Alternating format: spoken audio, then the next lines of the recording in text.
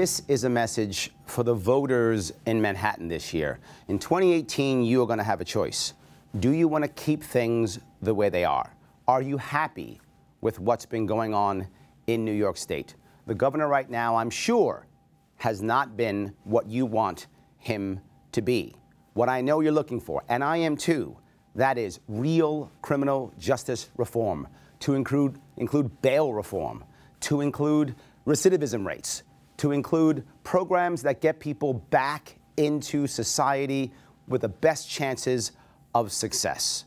I'm sure you're also concerned about marijuana cannabis reform, letting people grow what they want to grow, to in fact even grow their own medicine, to allow people to put what they want in their own bodies when they want to put it in.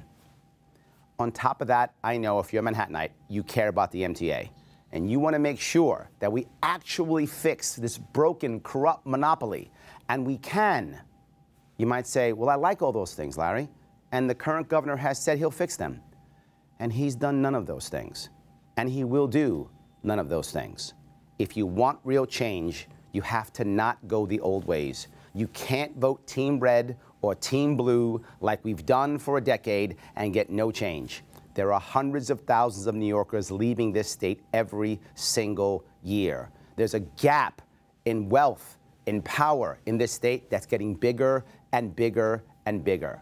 The answer is change, real change, which means you have to vote this November 2018 Larry Sharpe, Libertarian. You have to vote gold this year. Red team or blue team means no change.